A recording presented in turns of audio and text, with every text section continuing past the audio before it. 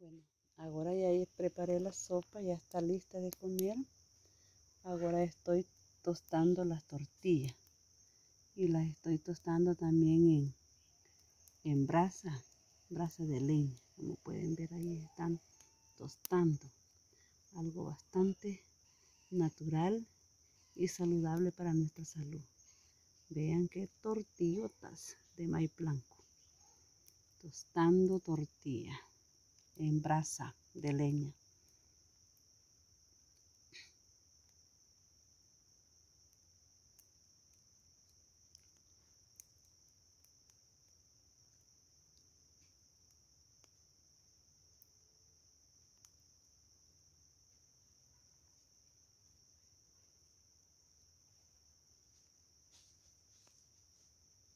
Vean estas plantas que tengo aquí también.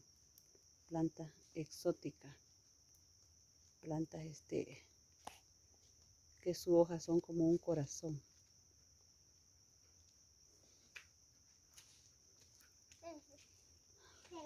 Vean este niño encharcándose. Miren, se le quedó el caite.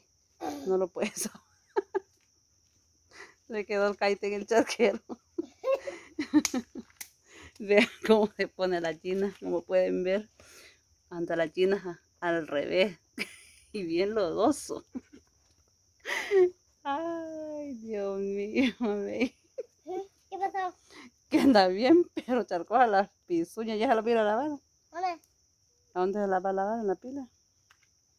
Se le pegan como el barro. se le pegan.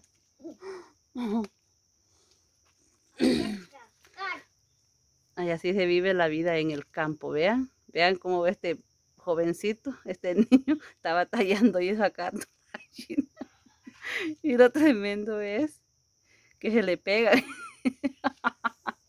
y no la puede sacar y le van a reventar, estarla jalando. Así es la vida en el campo. Los que van a ver el video, así vivimos. Los niños y los adultos en el charco, en la lodacera. Cuando andamos llenas se los pegan. Y a veces estar jalar y jalar se los revientan. Se lo van a reventar, mami. ¿Quién? La china. ¿Quién es la china? ¿De quién son esas chinas que anda? De Y ahora, mire cómo las está haciendo allí. Y al revés, más que todo, son más grandes las chinas que los pies. Ya me saqué. Ya las sacó. Ya me saqué ahorita. Ya las sacó ahorita. Vaya lave, que anda bien charcoso. Ahorita no. ¿No está ahorita? No. Las tortillitas ya están tostaditas.